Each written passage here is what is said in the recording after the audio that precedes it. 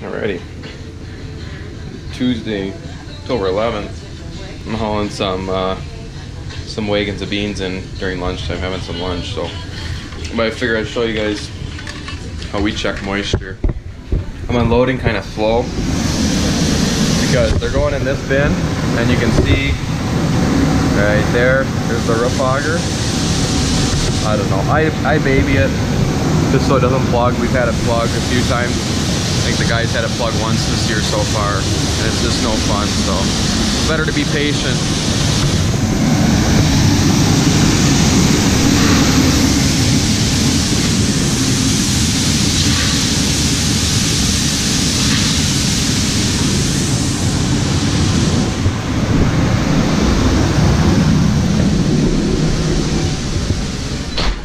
I had to dump the first couple buckets out. They had a little corn in them.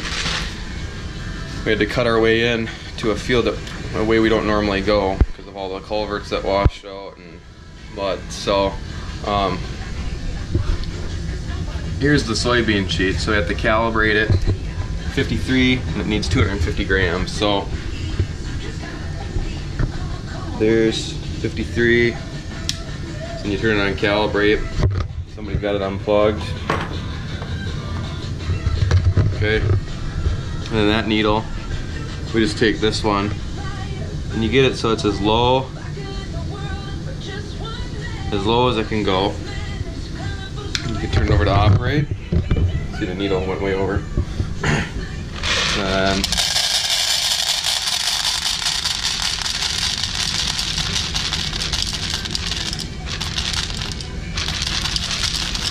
a little bit of corn, but oh well we'll get an idea where we're at. I'm sure it's right around 12%. So there's 250.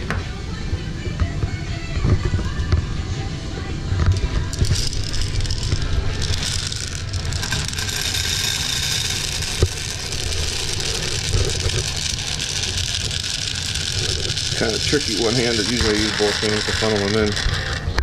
So, and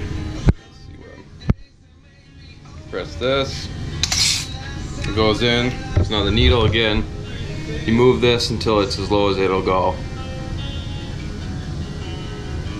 It looks like it's about settled. So then down here this line. Now it says about 30 call it 38 so then you go to this sheet.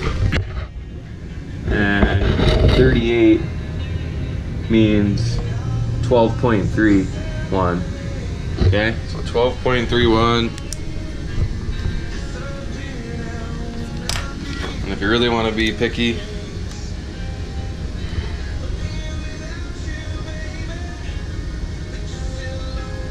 we'll call it 70 degrees. You can do a temperature correction. So 70 degrees is to add 0.2 to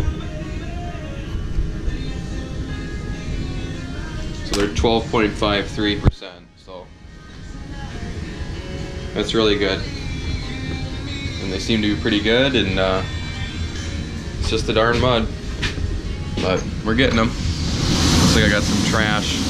I had to come out under some trees, so it looks like I got some some leaves and stuff plugging the wagon up. So I'll take care of that. But just thought I'd show you how to check moisture quick.